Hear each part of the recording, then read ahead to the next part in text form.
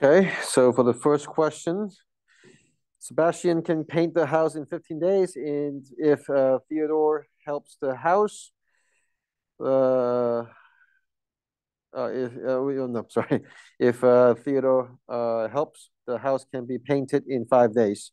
How many days would it take Theodore to paint the house alone? So that means we have the rate of uh, Sebastian, which is one over 15.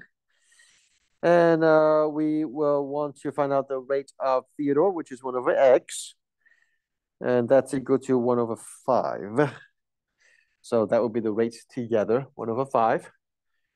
And we say, let's go ahead and multiply both sides by the common denominator, which would be what? What's the common denominator?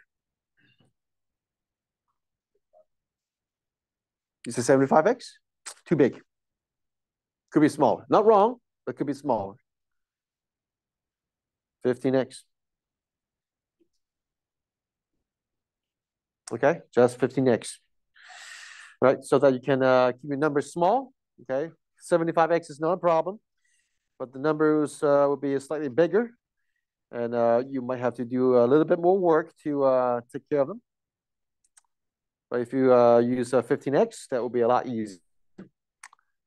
So uh, you would have uh, 2x is equal to 15. So x is equal to uh, 15 over 2, which is um, 7.5. So, uh, so if Theodore uh, paints the house alone, then it takes about uh, 7.5 days.